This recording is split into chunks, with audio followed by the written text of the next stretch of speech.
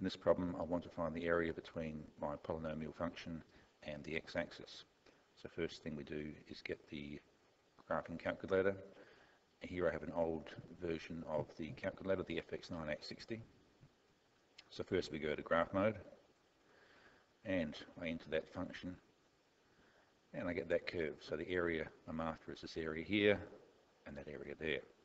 Now because this area here is above the x-axis, it'll be a positive value, that area there will be a negative definite integral. To find those values, I'll go to gsolve, then f6, and then my integral sign is there. And now I need to set my x-intercepts. So negative 3 is the lower boundary. I'm just going to work out this uh, integral here. So up to 0 is my upper boundary. So I get 11.25. Now I'll find this uh, value here between 0 and 1. So once again, gsolve, f3, and my lower boundary is 0, upper boundary is 1. And notice we get a, a negative for the definite integral, as we expect, being underneath the x-axis. So if we wanted the area between the, the polynomial and the x-axis, we could add that value to the the negative of this value here to get 11.7, 11.8 units. If I were to work out the uh, definite integral between negative 3 and 1, you'll see we won't get that. So once again, g solve f3, my lower boundary of negative 3, and my upper boundary here of 1. And we get 10.6, not 11.2 plus 0.6.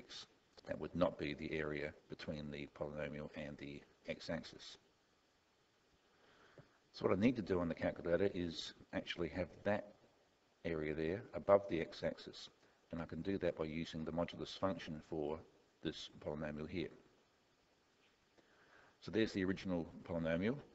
In y2, I'm now going to go option, and number, and absolute which is the modulus. Newer calculators will have two vertical lines here rather than ABS. I want the modulus of y1.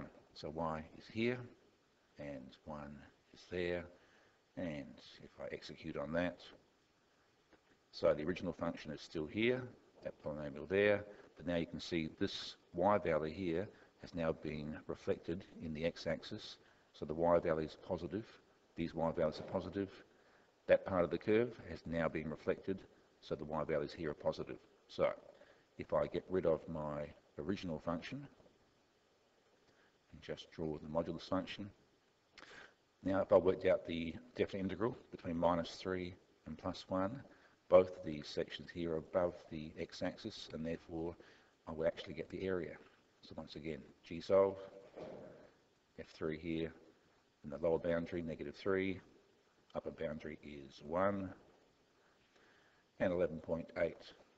So if we add 11.2 to 11 point, sorry, to 0.6, we get our 11.8 value. So that now is the area between the polynomial and the x-axis.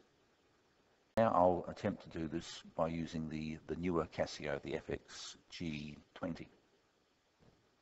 So here's my emulator. If I go to uh, graph, I have my function already. If I now draw it, I get my uh, cubic polynomial. I want the area between here and here.